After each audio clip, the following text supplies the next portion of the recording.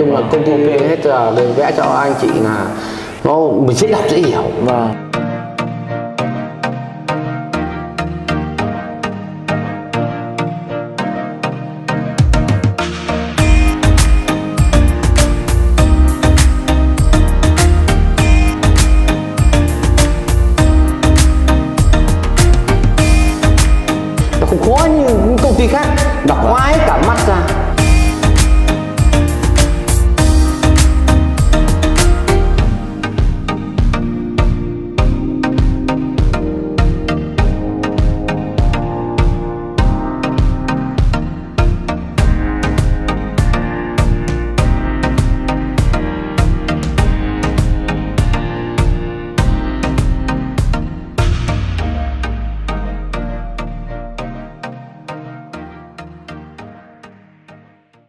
À, xin chào mừng quý vị các bạn đã quay trở lại với kênh Kiến trúc HCG Hiện nay thì Cường đang có mặt tại Phổ Yên Thái Nguyên như quý vị các bạn nhé. Trong video ngày hôm nay thì Cường xin phép là sẽ à, cùng quý vị các bạn sẽ đi trải nghiệm một cái không gian mà à, biệt thự à, phố của nhà chị à, Hường ở phố Yên Thái Nguyên Để cho quý vị các bạn có thể nắm bắt được và áp dụng trực tiếp vào trong cái khuôn viên, trong cái công trình nhà mình. À, Công trình lần này thì là có cái à, mặt tiền là bằng 10,7 à, và chiều sâu công trình là 20 m tổng diện tích một sàn là bằng 200 m vuông quý vị các bạn nhé. Thì chúng ta sẽ cùng nhau à, xem qua để cảm quan cảm nhận cái công trình lần này để các bạn có thể nắm bắt được và áp dụng trực tiếp vào trong cái khuôn viên trong cái công trình của nhà mình. À, cường xin mời các bạn hãy cùng cường à, theo chân cường vào trong công trình. À, hiện nay thì Cường đang đứng ở trên cái à, vỉa hè của thành phố Phổ Yên như quý vị các bạn nhé. À, Một trong những cái vỉa hè Cường thấy là cực kỳ là rộng rãi Nó rơi vào khoảng tầm 8 mét và có hai cái bồn hoa ở hai bên hông. À, Gia chủ cũng đang trồng những cái cây à, hoa giàn, những dàn hoa giấy rất là đẹp ở đây. Thế còn là à, phía sau Cường đây đó chính là cái lối vào công trình lần này. Thì công trình lần này bên HCG là à, thiết kế là lối lên là ba bậc. Như quý vị các bạn Còn đây là cái phần vỉa hè lên thì chúng ta lên thêm là 10 phân nữa so với lại vỉa hè như quý vị các bạn. À, toàn bộ các cái phần à, cổng và hàng rào này là đều được bên mình là tính toán chuẩn cái con số phong thủy rồi. Còn cái bộ cửa màu vàng ở đây đó chính là bộ cửa nhôm như quý vị các bạn nhé. Bộ cửa nhôm màu vàng. À, trong cái video này thì là cường xin phép là sẽ à, giới thiệu rất sâu về à, phần đầu tiên là mình sẽ giới thiệu về phần hình thức. Thứ hai là mình sẽ đi sâu vào phân tích công năng giải pháp và à, chia sẻ cho quý vị các bạn về cái đơn giá thiết kế công trình để cho các bạn nắm bắt được. Vậy nên các bạn hãy cùng cường xem cái video. À, mình sẽ xin phép chia sẻ nó rất là chi tiết ạ. À, và à, khi mà chúng ta bước chân lên cái phần sảnh này thì phần sảnh này bên mình sẽ làm thụt lại một chút quý vị các bạn nhé nó rơi vào khoảng tầm 1 m hai.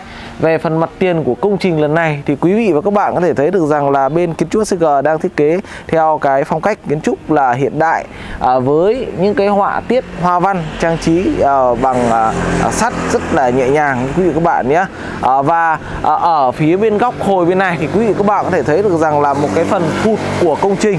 À, phần thụt của công trình thì đó chính là à, tại sao chúng ta lại có những hệ lam như kia? Bởi vì là chúng ta sẽ là ở hướng tây thì do ánh nắng nó hắt vào thì là chúng ta có thể là che được nắng cũng như là sau này mình sẽ trồng những cái dàn hoa vào cái phần bên dàn hoa bên đấy thì là sẽ che được nắng cho uh, cái cửa sổ ở trên tầng 2 như quý vị các bạn nhé. Còn toàn bộ cái phần hệ cửa ở công trình lần này thì cường xin mời quý vị các bạn hãy cùng cường sờ xem. Còn trên cái phần phần nhô ra phía trước ở đây thì quý vị và các bạn có thể thấy được rằng là bên mình sẽ thiết kế một cái bồn hoa. Đấy, gia chủ đang trồng một cái uh, cây hoa giấy rất là đẹp như quý vị các bạn à, phần toàn bộ cái phần diềm ở bên trên kia thì quý vị các bạn có thể thấy được rằng là à, được à, bố trí trang trí bằng đèn. À, phần à, phào à, phần à, ô ở đằng trước này thì chúng ta có ở đây là bốn đèn. Còn phần đèn chạy xung quanh à, xung quanh cái diềm mái nhé các bạn nhé. À, phần diềm mái của công trình lần này thì quý vị và các bạn sẽ thấy nó khác hơn các diềm mái khác vẫn là mái nhật nhưng mà các cái cổ mái à, được bên HCG bóp lại bóp lại nhỏ lại bởi vì là tránh hiện tượng nước chảy sang nhà khác nhé các bạn nhé.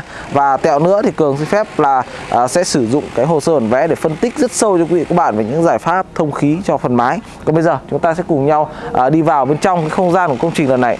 À, bước chân vào à, lên cái à, bậc sảnh của công trình thì chúng ta có thể thấy được rằng là cái phần thụt của công trình lần này là bên mình đang à, để ở đây là những cái bùn hoa nhé các bạn nhé là lối lên. Ở đây chúng ta có là cái đá à, là granite kim sa hạt chung thế còn là à, gia chủ đang trồng những cái chậu hoa sen đá rất là đẹp. Kết hợp với đó ở đây chúng ta có những ba cây mộc hương.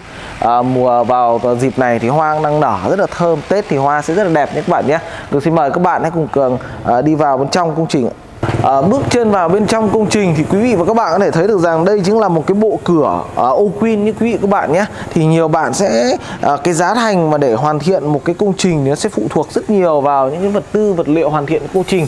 Như cái bộ cửa lần này thì là bên HCG đang thiết kế ở đây đó chính là uh, cửa ô queen uh, cái, tại cái thời điểm mà anh uh, mua cái bộ cửa thủy lực này là rơi vào 5 triệu rưỡi trên một mét vuông như quý vị các bạn nhé. Chưa bao gồm là cái khóa chưa bao gồm cái khóa cũng như là cái phụ kiện đó, là tầm 5 triệu rưỡi một mét. Và chúng ta có những cái họa tiết hoa văn trang trí đồng ở đây rất là đẹp đúng không ạ? Và à, toàn bộ cái tay nắm này rất là to. Chắc bảng bảng này hiện nay chúng ta đang có ở đây nó rơi là bảng 240 nhé các bạn nhé.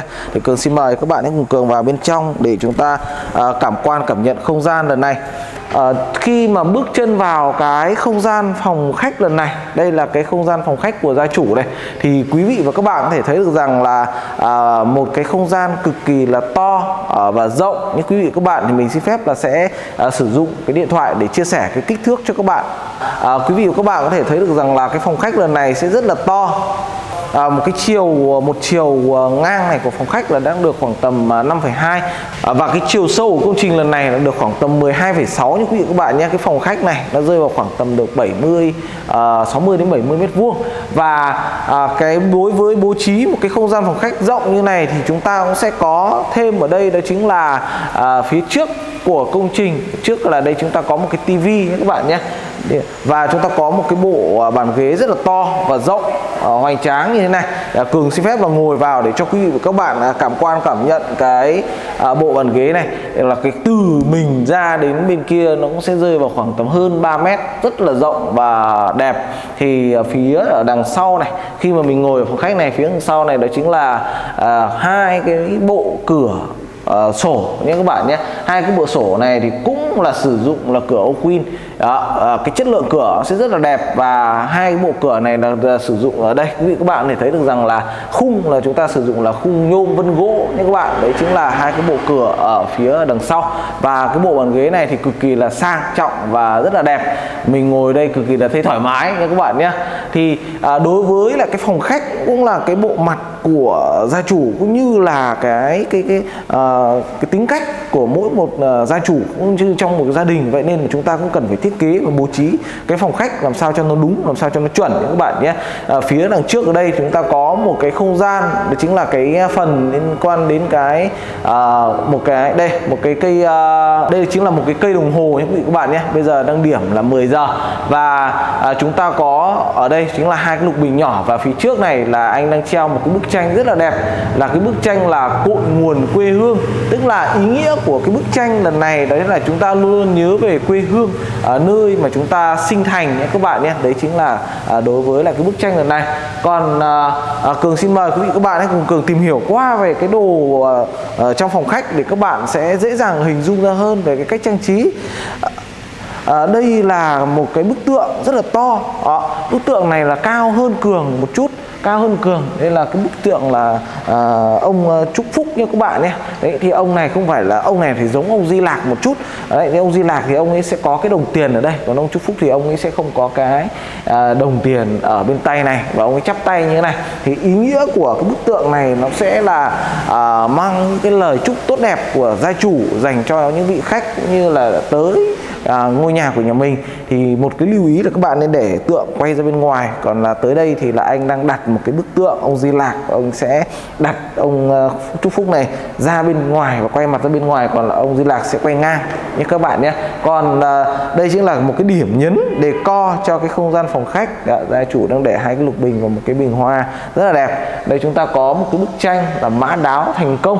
À, đối với bức tranh này thì trong phong thủy về không gian treo tranh các bạn nên lưu ý cho cường một chút là chúng ta sẽ có là các con ngựa sẽ quay đầu vào bên trong à, và một con sẽ quay đầu ra bên ngoài nhé các bạn nhé.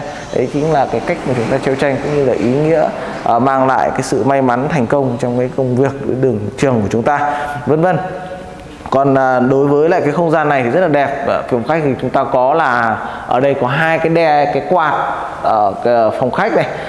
Để là khi mà chúng ta ngồi thì chúng ta sẽ ừ, rất là mát. Và quạt sẽ kết hợp với đèn các bạn nhé còn đây trước đây chúng ta có hai cái đèn chùm đó à, quý vị các bạn cùng cường xem qua cái không gian à, tiếp theo chúng ta sẽ có ở đây chính là một cái không gian phòng thờ. Đây cũng là một cái cây à, rất là đẹp. Quý vị các bạn nhé. À, đấy cái cây này thì là cả một trong cây phong thủy. À, các bạn có thể đặt những cái cây lá to hay là chúng ta có thể đặt những cái cây lá xanh tươi ở trong nhà của chúng ta thì chúng ta sẽ mang lại những cái trường khí tốt cho công trình cho cái ngôi nhà của nhà mình. À, chúng ta sẽ có một cái không gian phòng uh, thờ ở đây. Thì đối với không gian phòng thờ lần này là nó được cái diện tích sử dụng là được 30 mét vuông. Anh đang đặt là hai cái lọ lục bình uh, hút lọc rất là to.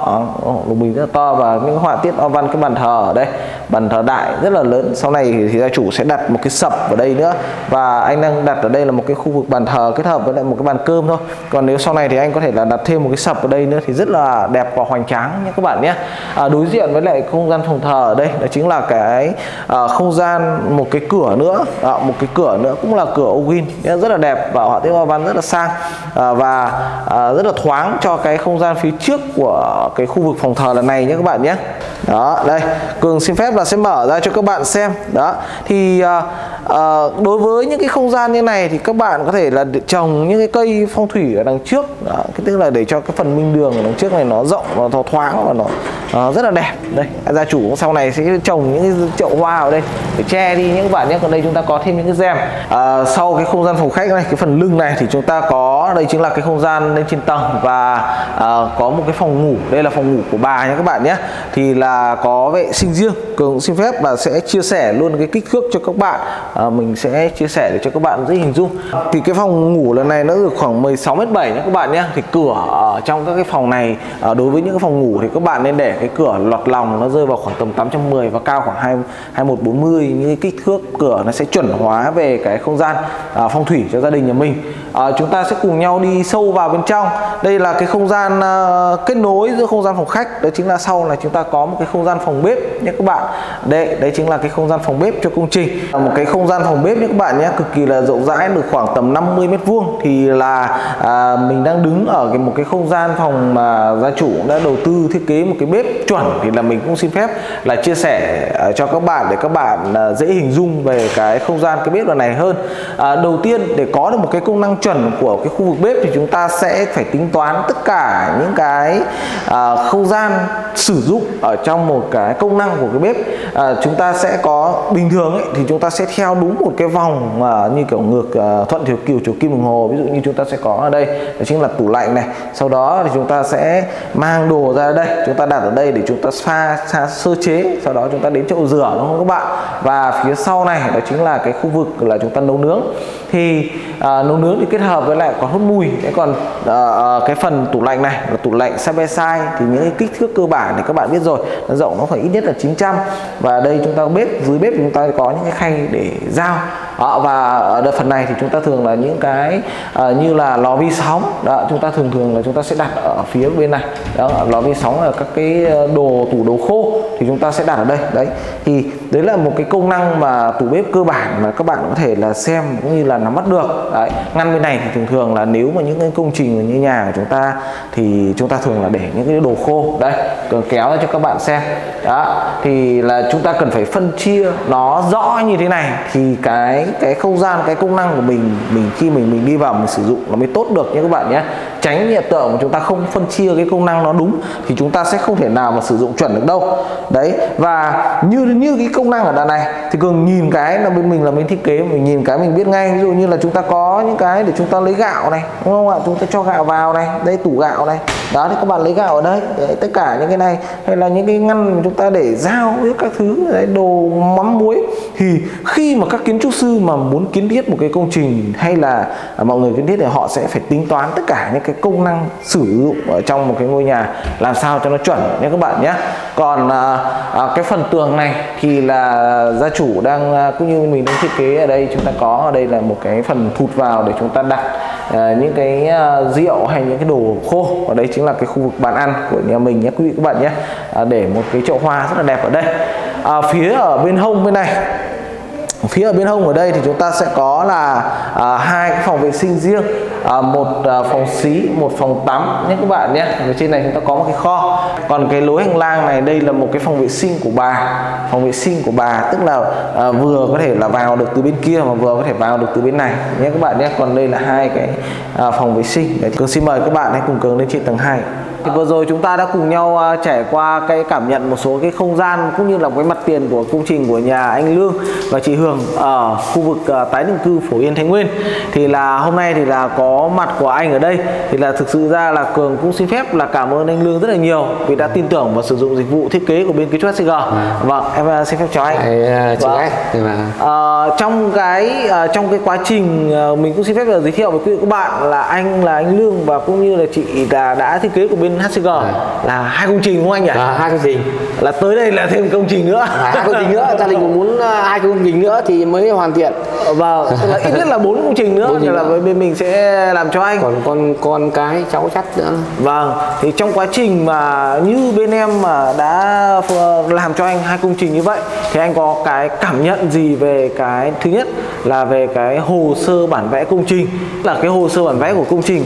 Cái thứ hai đó chính là em cũng mong muốn là anh ờ, có thể chia sẻ với bà con là cảm nhận của nhà mình về cái cái không gian ở sử dụng cái công trình nhà mình được không ạ?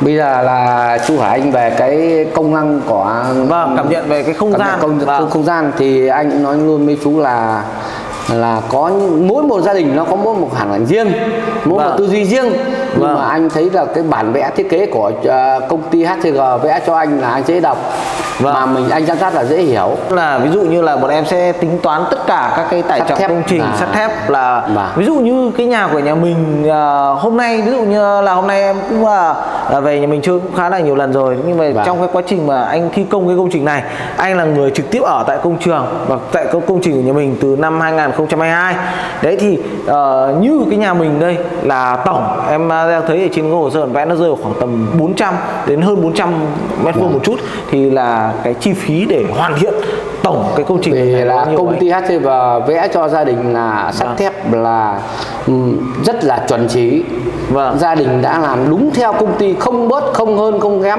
Vâng. là gia đình đã làm là vào cái, cái phụ kiện cửa tốt Vâng. thì là vào 6 triệu một mét vuông đấy 6 triệu mét vuông như nhà còn mấy mà cái nhôm đêm mà đêm DMI thì Vâng. nó rẻ đi nó thì vào là khoảng 55 triệu trên một mét vuông Như nhà này của nhà mình là vườn 450 mét vuông thì nó rơi vào khoảng tầm 2 triệu tư à 2 tỷ tư. nhà của bác Vâng. lại là công ty hết vào tính toán cho bác sắt thép hoàn mỹ chọn bác giám sát bác thì giám sát chủ nhà bác lương giám sát là hết là 2 tỷ tư Vâng. nói chung là Vâng. công ty Ok. hết giờ để vẽ cho anh chị là nó mình dễ đọc dễ hiểu Vâng. người dân mình anh không học qua chuyên môn xây dựng nhưng mà anh đọc dễ hiểu lắm À, dễ hiểu tức là là là từng hạng mục được phân chia rõ ràng ra. rõ ràng Mình cái gì nó cũng dễ là- hiểu là nói chung là nó không nó không khó như những công ty khác đọc hoa hết cả mắt ra Vâng, Đấy, tức là công ty anh- khác là họ vẽ sơ bộ xong rồi thì là mình sẽ chỉ mà thôi. Vâng. công ty SG vẽ cho anh là nó đỡ tốn kém bao nhiêu tiền anh đỡ nhiều À vâng. như năm nay anh làm thì đỡ được khoảng vài trăm triệu vài trăm triệu đấy. Vâng, thật em sự à, em à, thứ nhất là em cũng à, xin phép là thay mặt à, anh em công ty à, là cảm ơn anh rất là nhiều vì đã tin tưởng và sử dụng cái dịch vụ thiết kế của bên em. Em cũng xin phép là chúc cho anh và chị là và toàn thể gia đình nhà mình nhất là ông bà cũng như là các cháu là khỏe mạnh. Đầu tiên là khỏe mạnh, cái thứ hai là luôn luôn là mình có cái năng lượng tốt luôn luôn vui tươi, tiền tài luôn luôn là ập vào nhà. Đấy. Đấy Đấy là là- cái mà em, em, em mong muốn đấy còn là ờ, khi mà đi vào sử dụng không gian như này mà trong quá trình mà bọn em thiết kế cũng như trong quá trình làm nếu mà có bất cứ một cái vấn đề gì thì thì là ờ, bọn em sẽ rút ra những cái bài học cũng như rút ra những cái kinh nghiệm để update những cái công trình của nhà mình nó sau này nó tốt hơn nữa em cũng cảm ơn anh rất là nhiều Vâng. Thôi anh Vâng. thì cũng không biết nói gì hơn có những cái gì thì Vâng. anh ừ, cảm ơn trước hết là cảm ơn công ty HCG ừ, vẽ cho bác hai cái nhà có cái gì thì nó Vâng. cũng có cái chưa tí thì công ty có cái góp ý của bác là sau hoàn chỉnh hoàn chỉnh cho nó đẹp hơn đẹp hơn và Đấy, nó hoàn mỹ hơn Vâng. Nên là anh bắt tay à, chú gái chú là chú Cường của công ty Vâng. HCG anh là anh Vâng. lương ở thành phố Phổ Yên Vâng, có các gì bạn thì nào mà xây muốn nhà ờ, thì xây nhà có thể là gặp tới chú trực Cương. tiếp, ờ, tiếp nhà Bắc Lương gặp chú Phổ Cường. Yên để quan bây sát giờ là quan. mỗi một Vâng. cái không gian mỗi một gia đình nó có một cái khác, khác nhau chứ Vâng. không phải nói nhà A giống nhà anh B được. Thế cảm ơn chú dạ à, trước khi mà mình à, bước chân lên cầu thang thì là cường xin phép là chia sẻ cho các bạn là cái cầu thang là làm sao để cho nó đúng làm sao để cho nó chuẩn với lại cái phong thủy công trình nhé các bạn nhé. Cái bậc này thì là gia chủ đang để ở đây là nó rộng hơn một chút là khoảng tầm 600 rất là đẹp. Còn đây là cái phần à, tay nắm mà kiểu lục bình. Thì khi mà chúng ta nắm tay vào cái phần này này nó rất là dễ dàng à, dễ dàng đấy. Tức là chúng ta có một cái độ gờ hai cái bình này thì chúng ta sẽ là hút tài hút lộc nhé các bạn nhé. Đấy là cái ý nghĩa trong cái khu vực cầu thang. Nhưng là cầu thang cũng là một cái mà luồng khí đi từ dưới đi lên trên nhà. Đấy thế nên là chúng ta cũng cần phải làm làm sao để cho nó đúng. Thế còn là nhiều bạn thì sẽ hỏi cường là anh cường ơi thế thì đối với lại một cái cầu thang thì chúng ta làm bao nhiêu bậc là đẹp và chúng ta bậc thì chúng ta sẽ tính như nào? Thì là mình trong quá trình mà mình đang đi lên những bậc cầu thang này thì mình chia sẻ cho các bạn là như thế này. À, đối với cầu thang thì chúng ta sẽ làm những cái con số bậc làm sao để cho nó đúng làm sao để cho nó chuẩn với phong thủy thì à, bậc của cầu thang thường thường là chúng ta sẽ làm là 17 này 19 hoặc là chúng ta làm 21 hoặc là 25 nhưng công trình lần này thì là gia chủ đang làm là 25 bậc. Như các bạn nhé 25 bậc thì chúng ta sẽ tính là à, sẽ rơi vào con số sinh. Đó là tức là chúng ta lấy cái cái con số uh, của chúng ta chúng ta chia cho 4 à, nếu mà nó dư một thì là chia hết thì là con số tử. Còn nếu không thì là sẽ rơi vào con số sinh. À, à, dư một thì rơi vào con số sinh dư hai thì rơi vào bệnh và thứ ba là não những bạn nhé. Thế còn là đối với lại một cái không gian đây thì là đây là một cái đèn đúng không ạ? Một cái đèn rất là đẹp để treo lủng lẳng trong này thì là à, có màu trắng à, hình núi rất là đẹp. À, treo từ trên xuống dưới còn tay nắm là tay nắm gỗ bảng rộng này là khoảng tầm hơn 60 ở đây chúng ta đang đi ở đây các bạn có thể thấy được rằng là à, đối với lại một cái à, không gian như này một cái đèn chùm như này nó làm cho cái cầu thang của chúng ta rất là sáng. Thế còn là cái bậc của chúng ta sẽ tính từ cái bậc số 1 là bậc đầu tiên và bậc trên cùng là bậc số 25 nha các bạn nhé đấy là một cái lưu ý cho các bạn để các bạn biết được. Còn vào cái thì chúng ta cũng sẽ có ngay cái cái cái mà để chúng ta bật điện ở đây. Thì cường xin phép là bật luôn cho các bạn để các bạn hình dung. Tức là cái đèn khi mà chúng ta bố trí ở trong cầu thang thì cái đường điện của chúng ta là điện đảo chiều.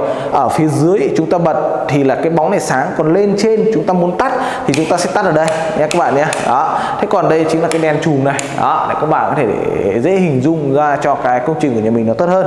À, cái lối trên này đó chính là cái lối hành lang. Cường xin phép mà chia sẻ với các bạn về cái kích thước à, của cái hành lang này. À, cái lối hành lang này là được ờ, à, 1280 nhé các bạn nhé. À, sẽ đi sâu vào các phòng và các phòng lần này thì là sẽ đều có à, cái biển tên à, rất là ngộ nghĩnh và đáng yêu. Đây là mom và dad nha quý vị các bạn nhé. Đây là phòng của bố và mẹ. Đó đây các bạn thấy không? Biển rất là đẹp. Thì nữa chúng ta sẽ xem. À, và à, ở phía trước này thì chúng ta có một cái không gian rất là rộng ở đây. Đó chính là một cái không gian à, phòng à, tập thể dục. Chúng ta sẽ đi sâu vào từng cái không gian của các phòng một. À, cái không gian phòng tập thể dục lần này thì là anh đang bố trí một cái máy à, tập chạy. À, một cái máy tập chạy ở trên này. Thì à, chúng ta à, phía dưới là có không gian phòng thờ. Thế nên là phía trên này thì chúng ta sẽ để không để chúng ta làm thành cái không gian tập dục hoặc là chúng ta làm một cái không gian à, phòng tiếp khách chung cho gia đình nhà mình nhé các bạn nhé. Và à, đây chính là cái lối để đi ra cái phần à, hành lang à, rất là đẹp. Có à, phần này thì là chúng ta sẽ làm thụt xuống và như lúc nãy cường có chia sẻ chúng ta có những cái sọc ở đây. Đó, để chúng ta à, làm cho cái à, ánh nắng nó sẽ không hắt vào bên trong. Cũng như là chỗ này chúng ta có thể treo những dàn hoa rất đẹp à, đứng ở đây buổi sáng thì chúng ta ngắm à, thành phố nhé các bạn nhé. À, bây giờ thì chúng ta sẽ cùng nhau đi vào bên trong để khám phá các cái không gian của từng phòng một nhé quý vị các bạn.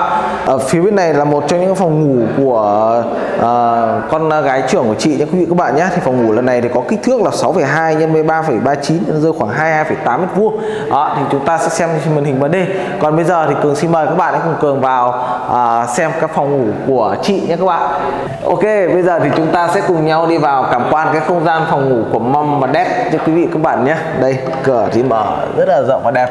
À, bước chân vào cái không gian phòng à, ngủ lần này thì à, à, quý vị các bạn có thể thấy được rằng là cực kỳ là ấm cúng với lại à, phía trước này là một cái bộ à, bàn ghế nhỏ để cho à, anh chị ngồi. Còn cái kích thước à, thì các bạn hãy cùng cường xem ở trên cái không gian công trình lần này. À, còn cái kích thước của cái phòng ngủ lần này là bằng 6,8 nhân với 3,990 như quý vị các bạn nhé. Nó rơi khoảng tầm 27 mét vuông. À, đây chính là một cái không gian để chúng tức khi mà chúng ta dậy buổi sáng thì chúng ta à, hạn chế là mở cửa ra bên ngoài hay là chúng ta có cái gì thì chúng ta ngồi đây chúng ta nghỉ ngơi trước sau đó chúng ta mới ra. Còn đây chính là cái phòng không gian của anh và chị. Đó thì quý vị các bạn có thể thấy được rằng là một cái à, giường rất là đẹp quay đầu giường vào phía hông bên kia và đây một cái tủ những các bạn nhé và một cái bàn trang điểm với lại những cái à, à, túi sách của chị rất là đẹp ở đây. Đó là cái khu vực mà à, phần à, phòng ngủ. Đó chúng ta sẽ có những lối đi lưu thông ở hai bên. À, đây là cái ánh sáng và là buổi à, gần trưa.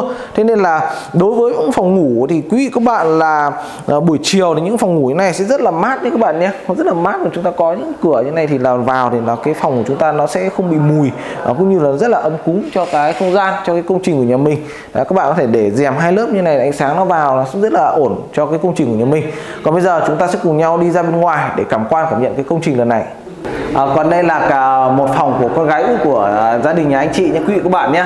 À, phòng của hạnh mon ở nhà thì chúng ta gọi là mon nhé quý vị các bạn đúng không ạ? Thì à, phòng lần này thì cái cửa cũng giống như các cửa trước. À, phòng thì mỗi một phòng thì chúng ta sẽ có những cái tông à, màu và sử dụng khác nhau.